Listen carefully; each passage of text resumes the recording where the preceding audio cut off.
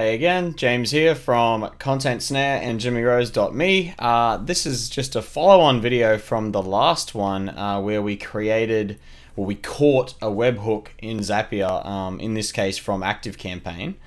And in this one we're going to show you how to filter webhooks that come in um, and only continue uh, with the zap or the automation if certain conditions are true. So this can uh, come in pretty handy uh, if for example, you're using a cart system like Thrivecart's the one I use, it will send a webhook for every event that happens. So that might be an order success, like a brand new order. It might be a subscription rebill. It might be a, um, a credit card failure or something like that.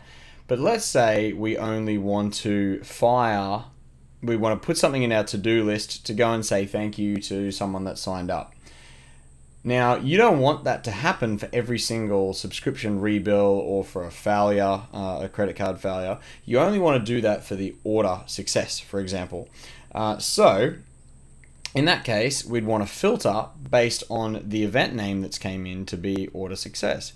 Or um, you might want to filter based on if someone's provided a company name or if they've said they've got two to five employees or something like that. We're just gonna, I'm just going to show you a very simple example here. Following on from the Zap we created in the last video, which you should go and watch if you haven't already. Um, basically, um, we're just going to go um, add a filter in the middle here. Now filters are a special kind of step in a Zapier automation that allows you to choose some conditions and basically will, as it says here, only continue if these conditions are true. So in this case, uh, we've caught a hook from ActiveCampaign that's got a bunch of data with it, as you can see here. So we could filter on any of these things. So maybe we want to say, we only want to say thank you to people who signed up on the small agency one plan. So we're going to say only continue if that exactly matches what was it? We had small agency one. Continue. Now we do a test, so we say test if the filter's working. In this case, the zap would continue to run. So we'll uh, continue. In this case, we've already finished everything, but um, if you missed the previous video, I'm creating a, a Trello card as a to-do list for myself to go and thank someone that's just signed up.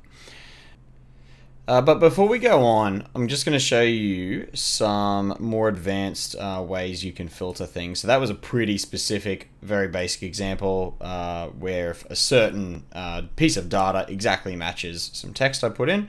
So you can get pretty uh, complex here if you had a lot of different conditions you need to match. So for example, if I add a new one here, uh, we're doing an AND. So that's going to say if this and this matches a um, so both of those have to be true for this zap to go through.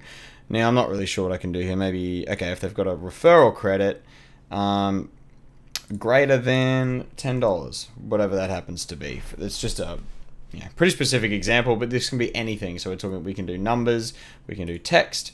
So you can see there's lots of different things there. You could search for, um, you could make sure text doesn't contain a certain um, string that you type in.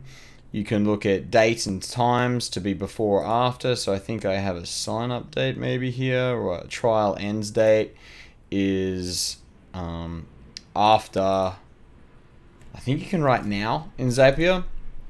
So um, in that case, basically the trial end. Uh, we're sorry, we're only going to run this if they're still in their trial because their trial end date is after today.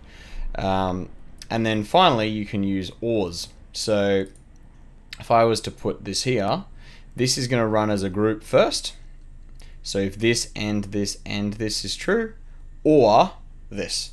So, um, you know, maybe for everyone named Jimmy, we're going to continue on no matter what the rest of these are because this one would fire as true and because of the OR condition um, this would actually go through. And remember you can always test. So if you're not sure if this is going to work you just hit continue and it will tell you whether it will pass based on those conditions or not and it'll highlight the ones so in this case basically everything is passing um, yeah, so that's it. Uh, that that shows you how to filter out. Uh, th- this is, doesn't even just apply to webhooks. This applies to pretty much everything in Zapier.